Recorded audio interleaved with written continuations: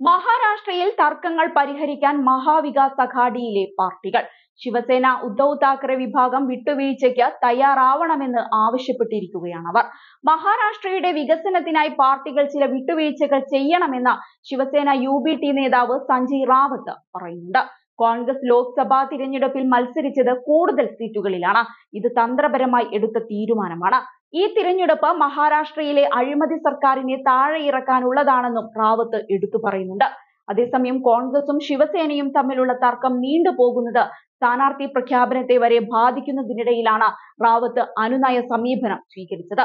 വർഷങ്ങളായി രാഷ്ട്രീയത്തിലുണ്ട് ഞങ്ങൾ. എല്ലാ പാർട്ടികളും സ്വന്തം പ്രവർത്തകരെ സ്ഥാനാർത്ഥികളാക്കണമെന്ന് ആഗ്രഹിക്കുന്നുണ്ടാകും.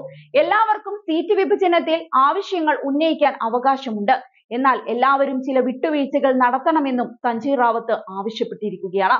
കോൺഗ്രസ് സീറ്റിന്റെ കാര്യത്തിൽ വിട്ടുവീഴ്ചയ്ക്ക് തയ്യാറാണോ എന്നതല്ല ഇവിടെ വിഷയം.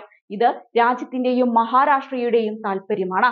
വിശാല ഹൃദയ സമീപനം ലോക്സഭാ തിരഞ്ഞെടുപ്പിന്റെ സീറ്റ് വിഭജന സമയത്ത് ഞങ്ങൾ കാണിച്ചിരുന്നു. ആ സമയം ഭരണഘടനയുടെ ശത്രുക്കളെ പരാജയപ്പെടുത്തേണ്ടതുണ്ടായിരുന്നു. ഇന്ന് മഹാരാഷ്ട്രയിലെ അഴിമതി സർക്കാരിനെയാണ് മാറ്റേണ്ടത്. അതിനായി വിട്ടുവീഴ്ചകൾ വേണമെന്നും റാവത്ത് എടുത്തു പറഞ്ഞു.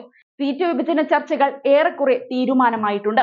അതേസമയം കോൺഗ്രസ് നൂറ്റി പത്ത് സീറ്റിൽ മത്സരിക്കാനാണ് ആഗ്രഹിക്കുന്നത്. എന്നാൽ ഉദ്ധവ് പക്ഷത്തിന് ഇതിനോട് ഒട്ടും യോജിപ്പില്ല. സഖ്യത്തിലെ എല്ലാ പാർട്ടികളും തുല്യ സീറ്റുകളിൽ മത്സരിക്കാമെന്നാണ് അവരുടെ നിലപാട്. നൂറിൽ താഴെ സീറ്റിൽ എല്ലാവരും മത്സരിച്ചാൽ സമാജ്വാദി പാർട്ടി ഇടതു പാർട്ടികൾ പെസൻസ് ആൻഡ് വർക്കേഴ്സ് പാർട്ടി എന്നിവരെ കൂടി ഉൾപ്പെടുത്താമെന്നാണ് ശിവസേന പറയുന്നത്.